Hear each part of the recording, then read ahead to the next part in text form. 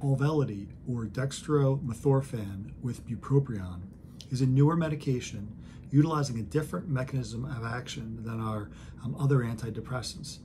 I'm Dr. Chris Pagnani with Rittenhouse Psychiatric Associates in Philadelphia. Auvelity has recently come to the market, and I have had some success with this medication. It works on a completely different pathway, the glutamate pathway, increasing glutamate levels, and it's an NMDA antagonist. Dextromethorphan is a medication that you may be familiar with uh, from local pharmacies um, in terms of treating colds, etc. The bupropion, which actually is um, trade name Wellbutrin, that's in uh, this combination um, pill or capsule, um, is actually in there to increase the levels of the dextromethorphan. So dextromethorphan tends to leave someone's body pretty quickly. And the bupropion, because it inhibits um, the 2D6 liver enzyme, so it, basically it, it uh, affects the ability of a liver en enzyme to break down the dextromethorphan.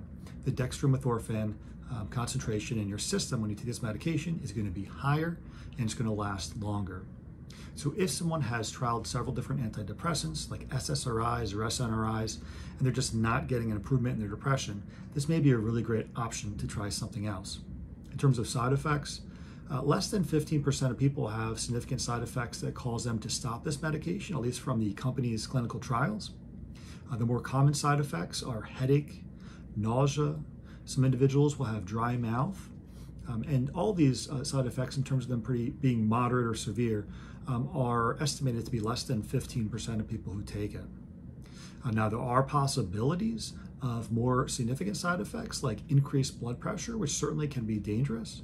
Some people describe association with this medication, which would be rare, but it would be a feeling that things aren't real or that they're not real or they're separate from their own body, which sounds pretty scary, but again, a pretty rare side effect.